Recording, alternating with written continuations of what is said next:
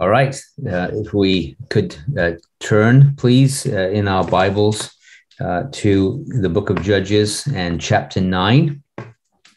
And I'm going to read um, the first six verses, although, Lord willing, we'll get further than that.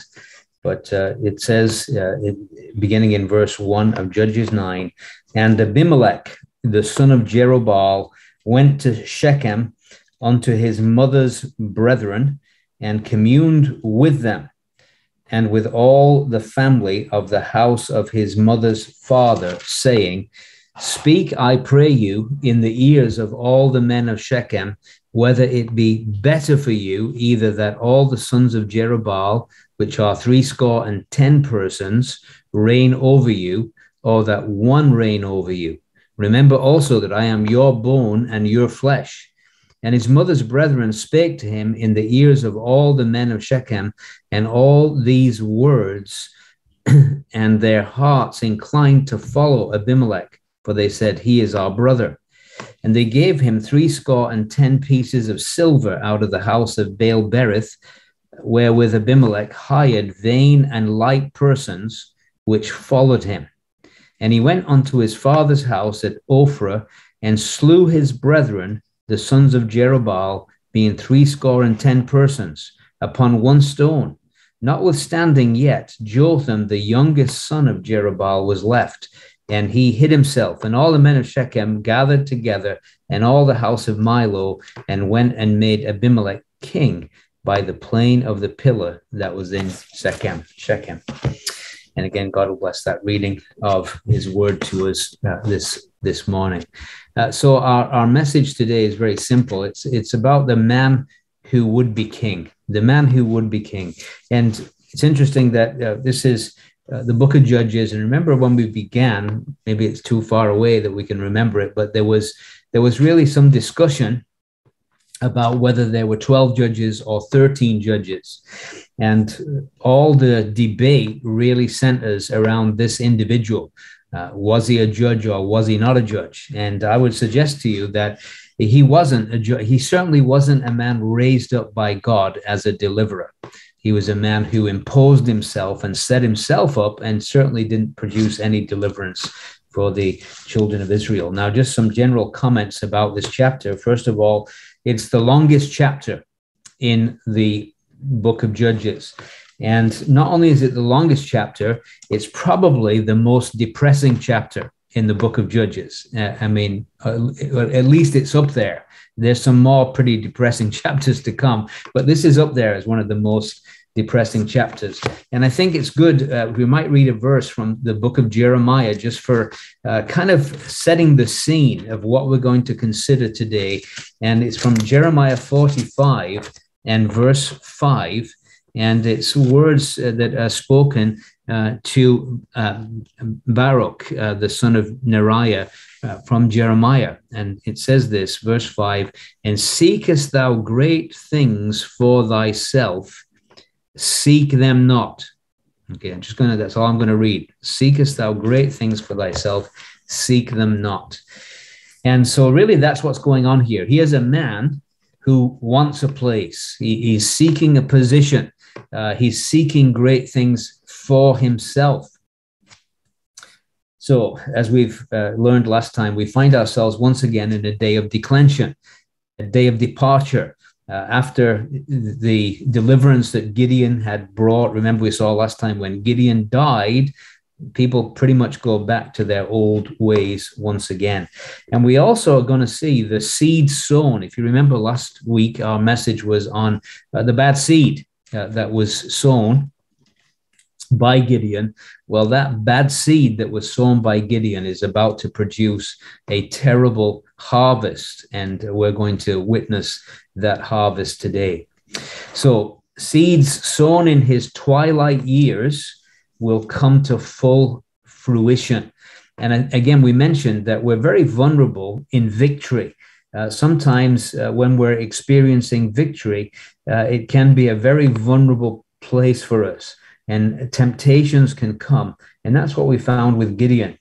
And so we've got to be very careful what we sow because we know that there's a principle in the Word of God that we reap what we sow. And we're going to see that what Gideon uh, basically sowed in his twilight years, he is now, or the nation is about to reap the consequence.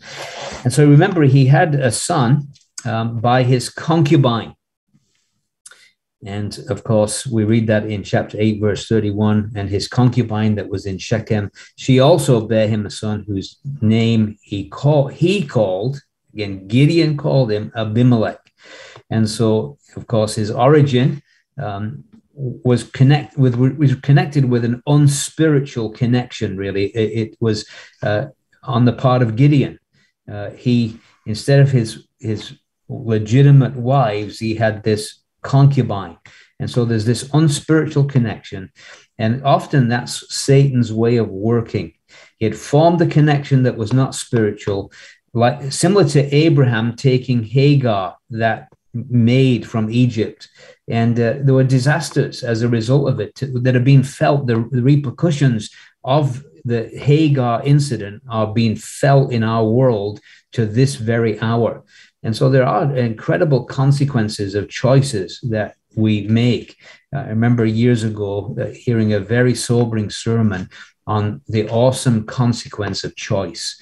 And it is true. Uh, there, there are consequences to choices that we make. And he uh, went after this woman, not content with his many wives. He went after this concubine. She had a son. And then he calls the son Abimelech, which, as we saw last time, means my father is king. And even though Gideon had refused kingship, uh, yet by calling his son, My father is king, he was acting like a king. He was saying, You know, I didn't take the position, but I, I certainly have been very kingly in my ways.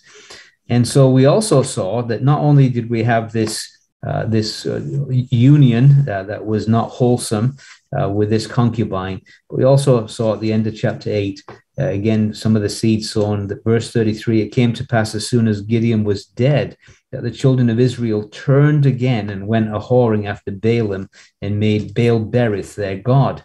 And of course, I do believe their return to Baal worship was speeded on its way by Gideon's ephod in verse 27, uh, if you remember in chapter 8, verse 27, Gideon made an ephod thereof, put it in his city, even in Ophrah, and all Israel with, went thither a whoring after it, which thing became a snare to Gideon and his house. And so, again, these seeds that were sown uh, in his family life, uh, in the national life of Israel, uh, are about to reap a terrible harvest because there was just a short leap from ephod worship to Baal Berith worship, Baal of the covenant. The other thing we notice in chapter 9 is that there's no repentance or crying out to God in this incident. Uh, the people refuse to repent. There's no repentance seen at all. And God is hardly mentioned in the chapter, although we will see later on in the story that uh, just like often in scripture, times like the book of Esther, where God is not named, but God is working behind the scenes. And we're going to see God is going to work behind the scenes in this chapter, even though he's not in the front and center of public life. In fact, they've tried to exclude God from public life. They've turned back to Baal uh, of the covenant. Uh, and that's where their hearts are. And so God is not mentioned. He's not part of it, but he's still working. And isn't it wonderful, by the way, to, to know that even when uh, men reject God, it doesn't mean that God is not still at work behind the scenes. And uh, we believe that, that he, he's a God who's always working. Lord Jesus said, My Father worketh hitherto, and I work. And while ever this world is in its ruined condition because of sin, the Lord Jesus says we can't rest. The Father and the Son are working actively to bring about redemption and restoration. And so it's good to know that even here, even though God's not mentioned, He's still at work, and we'll point that out as we go. We also saw that Gideon's sons were neglected uh, as a result of um, them turning from God. Verse 35 of chapter 8 Neither showed they kindness to the house of Jerubbaal, namely Gideon, according to all the goodness which he had showed unto Israel. And we pointed out that uh, part of that was they weren't really thankful. They, there was an ingratitude. And that ingratitude led to idolatry. It, yes, it, it, practically it led to the neglect of Gideon's family, even though Gideon had done so much for the nation. But it also uh, tragically uh, led them to idolatry, just like we see in the New Testament in the Epistle to the Romans. That you see that principle that when people are not thankful, it's just the first step uh, in the slippery slope that leads to idolatry. And again, I think about the nations that we live in, um, the US and Canada. I always thought it was impressive that they had Thanksgiving days. But, but overall, I would suggest that generally speaking, people in, in, in these great countries that have so much uh, of beauty, so much of, uh, of riches, and yet generally speaking people are not thankful and the result is a turning away from god. And so you have in romans 121 because that when they knew not god they glorified him not as god neither were thankful but became vain in their imaginations. Their foolish heart was darkened. Professing themselves to be wise they became fools and change the glory of the uncorruptible God to an image made like to corruptible man, to birds, four footed beasts, creeping things. And that's our culture, that's our society. And now, of course, we're, we're supposedly too smart to worship the created thing, but actually, I believe in our culture, we've rejected God, and man is elevated. Uh, as divine. Uh, it's, it's the worship of man and the worship of self. And so, again, it begins with uh, an unthankful heart. And uh, just from a practical stand, standpoint, it might be good to challenge ourselves. Are we thankful people? Did you start your day giving thanks to God for all his benefits and all his goodness to you? And uh, I think if we have a thankful heart, it really can radically change our whole worldview and our whole life. Thankfulness is a wonderful thing. That's why Paul says, in everything, give thanks. This is the will of God in Christ Jesus concerning you. So, this time of judgment that we're going to see in chapter 9 doesn't come as normal from Israel's enemies on the outside but actually it comes from internal strife. So there's a kind of a difference this time. There's no crying out to God for deliverance. God doesn't raise up a heathen enemy, but actually there's internal strife uh, that we're going to see and witness in this chapter um, between God's people. Uh, Gideon uh, had defeated Midian in our previous chapter, which we learned the name Midian means strife. He, he had won that victory, but the seed sown in his family and in his fleshly behavior in later life would once again introduce strife to the Lord's people. And so this man, Abimelech, he's a type of the ambitious carnal man grasping for power and leadership among God's people he, he's a picture to us of what we might call clericalism and also of the Diotrephes syndrome. As you look at the early church, uh, began with humble shepherds. And how did we get from humble shepherds to popery, where men are basically bowing down and kissing the feet of a mere human, a fallible human? How did we get there? And basically, the answer is uh, it was because of people wanting the place of preeminence that belongs to the Lord. And so that's really what we've got in this chapter. Uh, we've got this man Abimelech, and the Lord is never once found on his lips, not once in this chapter. He comes as a place seeker and a power seeker. Uh, and he's prepared to sacrifice and destroy anything that would hinder his getting place. And so the result is nothing but contention and trouble. And it ends in Abimelech destroying the people and the people ultimately destroying him. And it reminds us of a verse that we've often referred to in these studies, but I find it a very powerful and challenging verse. And it's Proverbs 13:10. And it says this only by pride cometh contention. The only reason there's ever contention between nations, between the people of God, uh, in a marriage, uh, in a family. It's, it, you know, we can give all kinds of other reasons, but God says, Let, let's get rid of all the sham. I'm going to tell you the real reason why uh, there's contention. It's only by pride. And so we said his name means my father is king, Abimelech. Now we're familiar with Abimelech because it was a title that was given to the Philistine kings. And it was handed down from father to son. And so we meet quite a number of Abimelechs in the book of Genesis uh, that are amongst the Philistines. And so this idea, my father is king, has the idea of whole dynasty idea. And though, so although Gideon refused kingship, this son of a concubine who was poorly named Abimelech, my father is king, like what was Gideon thinking? Uh, and not just that, uh, imagine him growing up with that idea my father is king. It might put visions of grandeur in the man's mind and that's exactly what happened. And so gideon refused kinship but this son of a concubine would grasp at being king. And again we said there's nothing spiritual about him. And isn't it a terrible thing when you see unspiritual men desiring leadership among the people of God he he we're told in the New Testament by the Apostle Peter that we're not to lord it over God's heritage. And yet, here's a man who is determined to lord it over God's heritage. He wanted uh, to be the preeminent one who ruled over the people. And we've said he wasn't raised up as a judge by God, there's nothing of God in his life. There's no mention of the Spirit of the Lord coming upon him. He wasn't visited by the angel of the Lord. He didn't deliver the children of Israel. There's just nothing of God about him. And this chapter, if we just want to kind of outline, it's really revolves around the parable of Jotham, actually, the first parable in the Bible.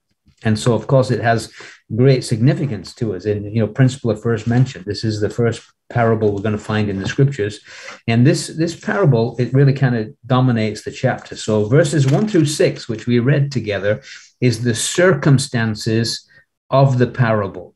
Why did Jotham tell this parable? And so verse 1 through 6 is preparing the way. It's the circumstances of the parable. And then verses 7 through 21 are the details of the parable. It's the actual parable itself that is told by, by Jotham, the one son of Gideon that escaped uh, of the 70 sons. And then from verse 22 to 57, the rest of the chapter is the fulfillment of the parable. So we read uh, in verse 1 Abimelech, the son of Jerubbaal, went to Shechem. And so we just notice that um, uh, he, he left Ophrah uh, this is where Gideon uh, had lived. Uh, verse 32 Gideon, the son of Joash, died in a good old age, was buried in the sepulchre of Joash, his father, in Ophrah of the Abiezerites. So that's where he would have been raised, and he left there and he went to Shechem to his mother's brethren, to the brothers that were also uh, born to this woman who was Gideon's concubine. And so we start right here. Instead of associating with the spiritual descendants of Gideon, he associates with the carnal concubine's family, his mother's brethren. And uh, that raises a very important question. Where do we find our fellowship? Where do we associate with? Do we associate with the spiritually minded people of God, or do we find it more comfortable being amongst the people of the world? And I believe there's something wrong if that's the case, that we're we're trying to find company in the wrong place. In Acts chapter four, there's just an interesting scripture that when Peter and, and John were uh, released uh, from uh, the Pharisees uh, and the tribunal that they had. It says in verse 23 of Acts 4, it says, Being let go, they went to their own company. being let go, they went to their own company and reported all that the chief priests and elders had said unto them. And I find that a delightful thing. Uh, they went to their own company. so we might ask the question yes, the Lord Jesus was known as the friend of sinners, but it was for the purpose of redemption to, to reach their, their lost souls. And uh, he lived a life that was separated uh, from all of that which they found appealing. And, and so, yes, we, we don't want to be isolationists. We're not suggesting that. We're not suggesting we go off to a commune somewhere. But what we should say is that we delight to be amongst God's people. We prefer the company of God's people than that of unbelievers. And yet we must, uh, we, we can't isolate them. We must uh, associate with them, but it's always with the purpose of winning them uh, to the Savior.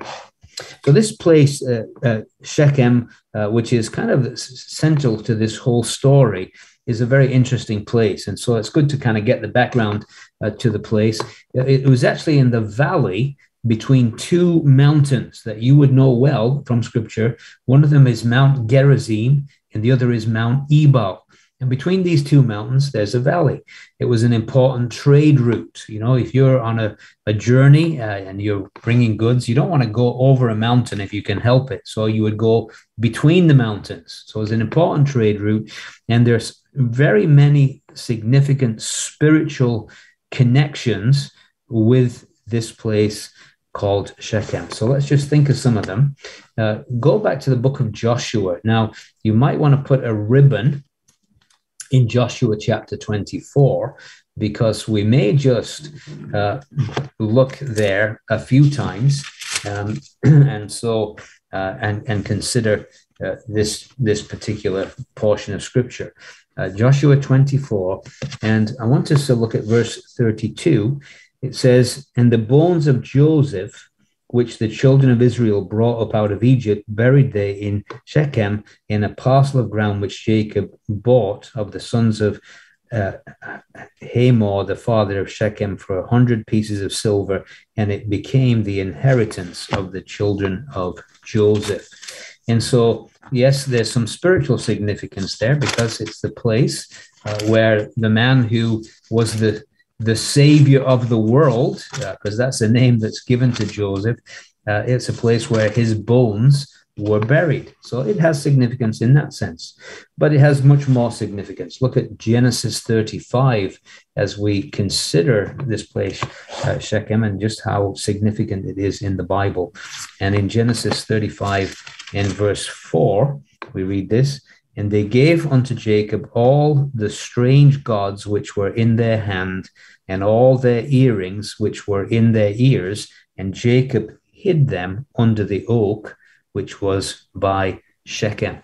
And so, if you remember uh, when uh, Rachel and, of course, Leah and Jacob fled, uh, we remember how Rachel took her father's household gods and she sat on the camel's uh, saddle and uh, well, this is where they were buried. So it was a place not only where Jacob's bones were buried, but it was a place where there was a putting away of idols. Go back to Genesis chapter 12. Genesis chapter 12 and verses 6 and 7 as we continue to think about this place of great significance in the Word of God. Genesis 12, verses 6 and 7, it says, Abraham passed through the land unto the place of Sichem, it says here, but it's the same place unto the plain of Moreh, and the Canaanite was then in the land. And the Lord appeared to Abraham and said, Unto thy seed will I give this land. And there builded he an altar to the Lord who appeared unto him. So it was a place where the promises of God to Abraham had been reiterated, had been given. It was a place where he had built an altar of worship to the Lord. And so, again, great significance. I said keep a ribbon in Joshua 24. Uh, go back there now, please. And we want to learn some more things about this place. It says in verse 1 Joshua gathered all the tribes of Israel to Shechem and called for the elders of Israel and for their heads and for their judges and for their officers. And they presented themselves before God. And then, if you look at the verse 25 of the same chapter, it says, So Joshua made a covenant with the people that day and set them a statute and an ordinance in Shechem. So it was a place of significance in many, many ways spiritually. There was a, uh, the the people of Israel made a covenant with God to be His people. Remember, Joshua said, "Choose this day whom you will serve. As for me and my house, we will serve the Lord." And the people said, "Yes, we will also serve the Lord." And they entered into a covenant with God to serve the Lord in this place. And now look at what's happened in this very place. Look at chapter 9 Judges and verse 4. And they gave him three score and ten pieces of silver out of the house of Baal Berith, wherewith Abimelech hired vain and light persons which followed him. The men of Shechem had now built a temple, a house for Baal of the covenant. In the very place where a covenant had been made with Jehovah, who had delivered them from Egypt, brought them through the wilderness, brought them into the land, and, and given them this promised land. And in Shechem, they, they made a covenant with Joshua. We will be the people of God. We will obey him. We will follow him. And now, in that very same place, they're making another covenant, but not with Jehovah, but with Baal. Baal Berith, Baal of the covenant. What they're saying is, we are now going to make a covenant relationship to serve Baal and to worship him and obey him in that place of such spiritual significance. of course, it, it shows to us that uh, in a place of spiritual significance, people can make some unspiritual decisions. Uh, and so we need to be conscious of that and uh, live up to the wonderful spiritual heritage uh, that that we have in the house of God, and be careful that we make decisions that are right decisions in the house of God to stay faithful to the Lord. But he did not. So he associates with the wrong people. Uh, he's in, in a sense, the wrong place because it's now a place that is associated with Baal of the covenant.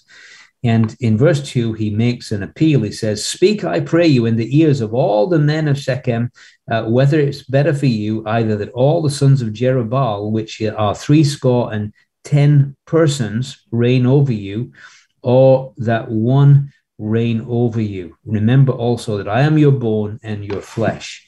So his appeal, of course, is one of self interest. He appeals to the self interest of the men of Shechem, really uh, he calls his father not Gideon, but Jerubbaal.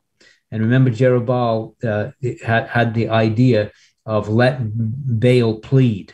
And, and again, the idea was that Gideon had pulled down this uh, altar of Baal uh, in his father's house. So he had been one who had destroyed Baal. Now they're back as Baal worshippers. And so he uses the name Jerubbaal for Gideon because he wants to remind them this is the man that destroyed Baal worship in the past. I want you to know that. This is this is who he is. Not not his name Gideon, but but Jerubbaal. And so he inflames the prejudice really of the Baal worshippers right? He he's the one that destroyed Baal's Baal's idol.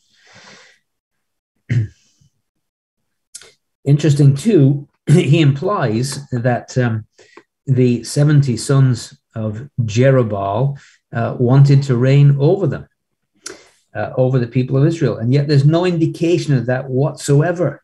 Uh, they're still in Ophrah, and they seem to be very content with their lot uh, living in Ophrah, and uh, they, they, they don't seem to be in any way grasping after power or seeking uh, to, to rule and reign over the nation. But he, he says, appealing to them, isn't it better to have one man than 70 men? And by, by the way, isn't that so true? Uh, even to this day, uh, when you have this plurality of oversight, that is clearly taught in the New Testament, but many people still prefer to have one man to reign over them, forgetting that actually those plurality of oversight are under the one man who reigns over us. You see, people would say, uh, you know, might ask me, well, who is your pastor? And I love to tell them, Uh, actually, uh, we have a number of shepherds, uh, and we have an, the most amazing pastor you could ever imagine. He's the chief shepherd. He's the, the Lord Jesus, and he lives in the power of an endless life. We'll never have to replace him. Uh, we'll never have to, uh, you know, kind of uh, after so many years get someone else. We have the most perfect shepherd in our assembly. And then we have under shepherds, plural, under that chief shepherd. And so he's kind of asking them, what would you rather have? You want one man or do you want the 70 men? And then he reminds them, I'm born of your bone and, and of your flesh. So I'm, I'm, you know, I'm in your family line. So appealing to this as well. So as we said, this man was the Old Testament equivalent of Diotrephes, who loved to have the preeminence. How different he is to John the Baptizer. Don't you love John the Baptizer's words? He must increase and I must decrease. Oh, this is the kind of men we want in leadership. Yeah, men who want Christ to be all in all. They want they want him to have that preeminent place and and they're happy uh, to just be simple, humble servants under a, an illustrious master, uh, the Lord Jesus. And so God delivers us from seeking a place. It's not far from any of us, even the disciples. Remember, they left all to follow the Lord Jesus, and yet there were times where they're, they're, they're discussing among themselves who will be the greatest among them in the kingdom. Mark 9:34 would be an example. And so even amongst these men who had made great sacrifice, left everything to follow the Lord Jesus, and yet they're vying for place. Who's going to be the greatest? And the Lord said to them, You know who the greatest of all is? He's the servant of all. Oh, what a what a wonderful reminder for all of us that in God's economy, it's so different to the way the world thinks. Uh, in the world, everybody wants to be top dog, and there it doesn't matter who you crush on the way up, but there's this rush to get to the top. And what the Lord Jesus says, in my economy, it's the very opposite. We should be fighting to get to the bottom and not fighting in a bad way, but we should desire to have the place. If we really want greatness, the greatest of all is the servant of all. And so here's a man, he wants the preeminence. And again, we might just say, trying to apply this practically, Lord, deliver us from seeking place. Lord, deliver us from, from self elevation. Lord, deliver us from thinking more highly of ourselves than we ought to think. Lord, help us to, to just see that the best place to be is in the place of the Lord Jesus, where he was that perfect servant. Let's be like him. Let's let's seek to serve eh, and to minister to others and to, to take a lowly place. And so, verse 3, it says, His mother's brethren spake of him in the ears of all the men of Shechem all these words, and their hearts inclined to follow Abimelech, for they said, He is our brother. And so their hearts inclined to follow this ambitious man. He was a he, one thing about these power hungry people is they're very good lobbyists.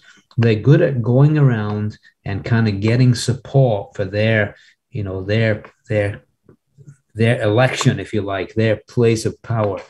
And so they certainly are willing, their hearts were inclined to follow this ambitious man, even though it's quite clear Gideon's sons were not trying to reign over them, but they certainly listened to this man. And again, sometimes these men who love a place of prominence, they can make a good case and they have an eloquence about them and they can they can be very persuasive in the, the people's hearts deciding to follow this this man. Of course, he needed financing if he's going to he's going to be successful and so we see in verse 4, it says, And they gave him threescore and ten pieces of silver out of the house of Baal Berith, wherewith Abimelech hired vain and light persons which followed him.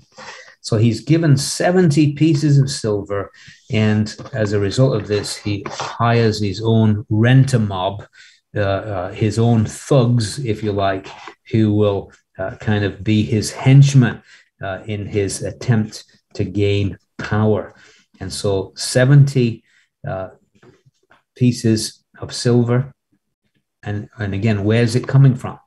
It, it's coming from a unclean source. It's coming out of the house of Baal Berith. He doesn't care where he gets his financing from. He's no principles. He just wants power. And so it doesn't matter where the money comes from. Uh, he's happy to take dirty money out of uh, an idol's temple uh, because it's going to forward his cause. And so there's just a man without any real principles, without any integrity in the man at all. And of course, uh, he uses this funding for a, a very uh, tragic purpose. Uh, so he hires this mob, and it says in verse 5 he went to his father's house at Ophrah and slew his brethren, the sons of Jerubbaal, being three score and ten persons. So, so he's got 70 pieces of silver, and he hires hitmen basically uh, to kill the 70 sons of Gideon. And so uh, it's just an interesting thing that uh, each of Gideon's sons, if you think of it economically, were valued at one piece of silver.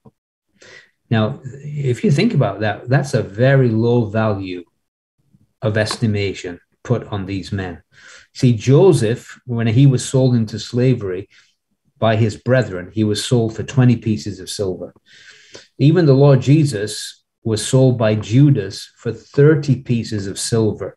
And, and again, we realize that was a very low estimation uh, from the one who is so marvelous as the Lord Jesus. But, but nevertheless, Gideon's sons are only valued a, single piece of silver each. And so that showed how little value he placed uh, on his siblings uh, through his father. So the silver, as we said, it came out of this house of Baal Berith. It was acquired from the temple treasury of a false god. And uh, he basically, in accepting that money, was a public announcement that he had renounced the God of Israel and was on the side of Baal. And so he takes these vain or worthless, uh, uh un- light, un- unimportant people um, to basically uh, kill these sons. I wonder, do, you know, it's interesting, isn't it? How how do we value people?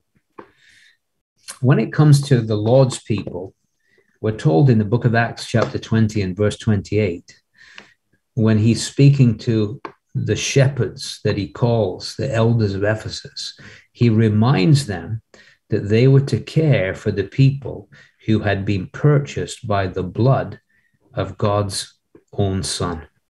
And I think if we if we could get a hold of that, that God's people are incredibly valuable to God. He has paid the highest possible price for them. What a price was paid for you and I. The blood of God's own son.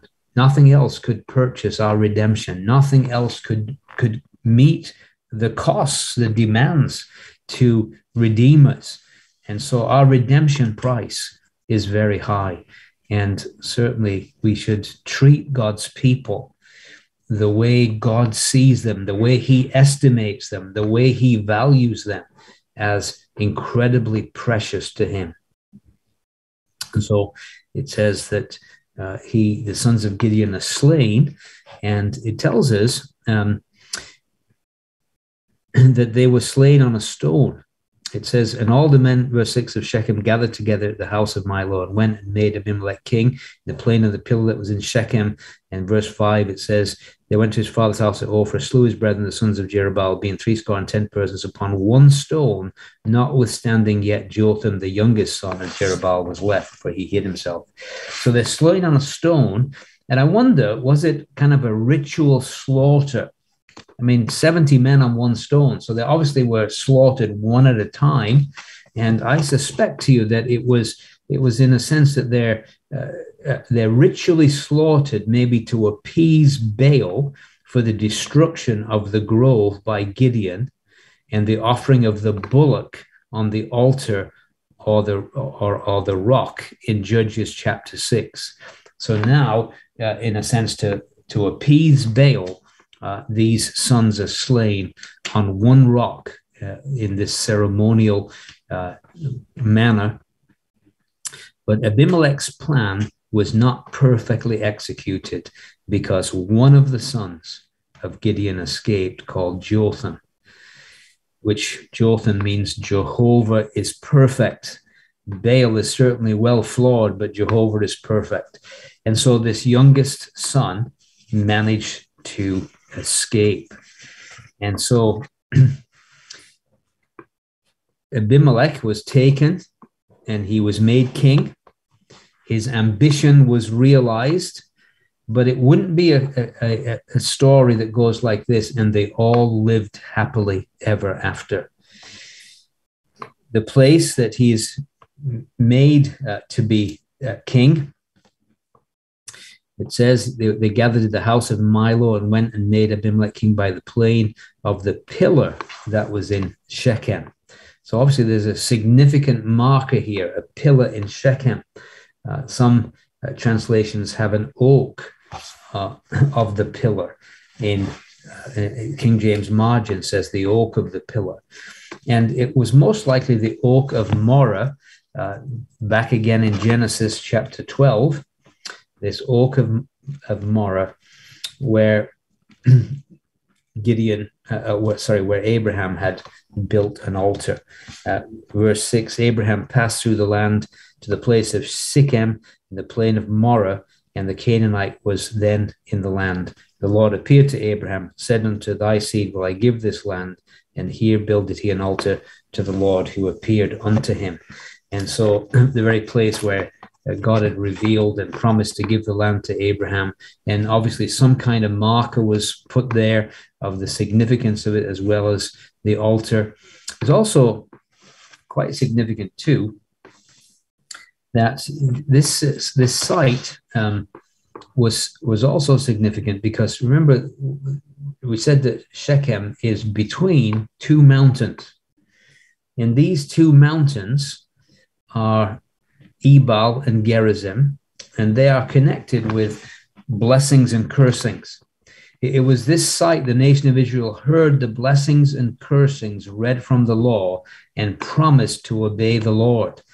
And so it's a place where the acoustics are absolutely magnificent. And, and again, I, I, have been there, and, and that's you can see why because you can you can stand on it, and it's like a little amphitheater in the middle. You can hear uh, clearly uh, the the words being spoken. So it's a place of of great spiritual significance. Uh, where Joshua gave his last speech, leading the people to reaffirm their obedience to the Lord.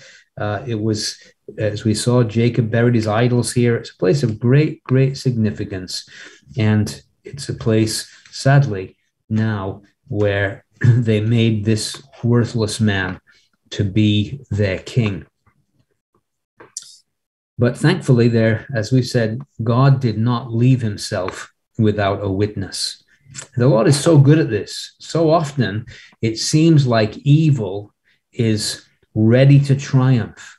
And it seems like the, the righteous are close to being exterminated. And yet God always finds a way uh, to preserve uh, his remnant. And so uh, we see lots of incidents like that. If you remember uh, when we did First Samuel and Doeg uh, slaughtered the priests, but one of them, um, Ahitub, the, the son of Abiathar, escaped. And so there was there was one preserved. Uh, Joash was hidden during the reign, uh, the reign of terror of Queen Athaliah, and yet uh, he was hidden in the house of God. And so God preserved the lineage. And so God is so good at that. He's, he's good at preserving his testimony, even when things get low, when things get bleak, when things seem hopeless. God is so good at preserving the testimony, even if it's just a small remnant. But, and again, we don't want to, we don't want to love the, and worship the day of small things uh, because the, we want the Lord to be magnified on the earth, and we want multitudes to come to know Him, and we want to be part of something much bigger, not for our glory, but for His glory. But but nevertheless, we recognize sometimes things get get low, things get bleak, but God is preserving. Uh, but it's always with a view of expanding, uh, of of expanding His work. So now we get in verse 7 through 21 to the details of the parable of Jotham. When news of the coronation of Abimelech reached Jotham, he came out of hiding and stood on the top of Mount Gerizim. Look at verse 7. And when they told it to Jotham, he went and stood in the top of Mount Gerizim and lifted up his voice and cried and said unto them, Hearken unto me, ye men of Shechem, that, that God may hearken unto you. And we've said it was a place of perfect acoustics, so everybody would have heard him uh, from Mount Gerizim. And uh, it, actually, we would have, perhaps if we would have written this, we might have had it the other way around uh, because um, Mount Ebal was the mount where the curses for a broken law were read. And maybe if we had have written it, we'd have had him on the Mount of Curses, because in a sense, uh, what's happening is very much like a curse on the people of Israel. Uh, and so we might have done it that way, but it's done the other way. He's on the Mount of Blessing, and he condemns the wickedness of the men of Shechem. And so, as he does, he does it by means of a parable. And remember, we said this is the first parable recorded in Scripture. And it certainly and clearly refers back to chapter 8 and verse 22 and 23. So it might be good for us just to read that before we proceed any further. It, chapter 8, verse 22 and 23, it says, Then the men of Israel said to unto Gideon, Rule thou over us, both thou and thy son, and thy son's sons also, for thou hast delivered us from the hand of Midian. And Gideon said to them, I will not rule over you, neither will my son rule over you. The Lord shall rule over you. So this parable has this background to it. And it's about trees which often are used to speak of men in the Bible. Now, we're not going to take the time to go through all of these illustrations or look at them in the scriptures, but you'll be familiar with them. And so in Daniel chapter 4, for instance, and verse 20 through 22, uh, Nebuchadnezzar is portrayed as a tree. And of course, all the birds shelter in it, and then the tree is cut down by the watchers and it falls down on the ground, but there's a little bit left. And of course, the application of the, the dream is that Nebuchadnezzar is the tree that's being referred to in the story. So there, there's an example of a man referred to as a tree. Uh, in Mark 8, verse 24, when the Lord Jesus healed the blind man, he said, I see men as trees walking. And then, of course, perhaps one of the most familiar ones to all of us is Psalm 1, verse 3 The man who delights in the law of the Lord is like a tree by the rivers of water. And if you remember, he bears his fruit in his season. So, uh, trees often are used in scripture in a parabolic manner to speak of men. And so, in this instant, we're going to see the same thing.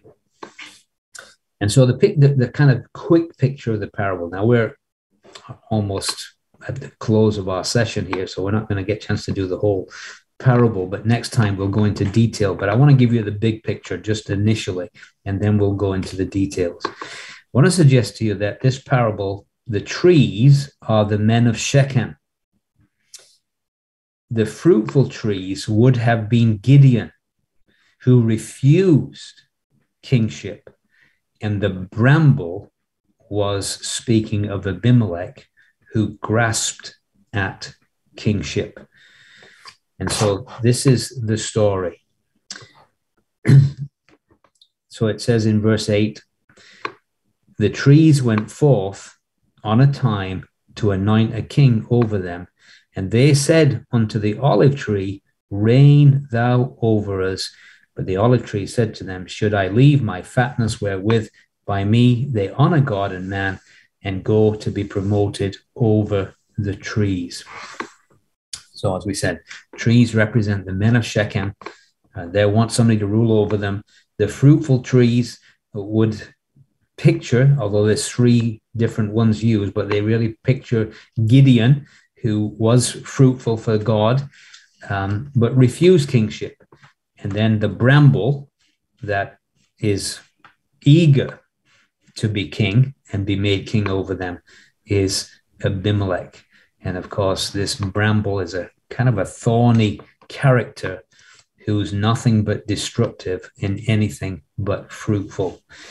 And it is true to say this that when we have carnal, ambitious men who grasp at power amongst God's people, it rarely ever produces good fruit amongst God's people but it invariably causes dissension, division, and produces what carnal carnality alone can produce, and that is a fleshly scene of devastation. And so, by way of practical application, as we uh, bring this session to a close, I would suggest to you that it's really important for us to pray earnestly for God to raise up spiritual men. Men who love the Lord, uh, men who love his word, humble men, uh, but men who love the flock, who, who care and see the value of the people of God, see them as blood bought, precious saints, and are willing to pour their life into divine service in ministering to God's people. Oh, how desperately we need such men. May God encourage us and challenge us with these thoughts. And Lord, deliver us from bramble men, men who would be king when we already have one who has the preeminent place, the Lord Jesus. Amen.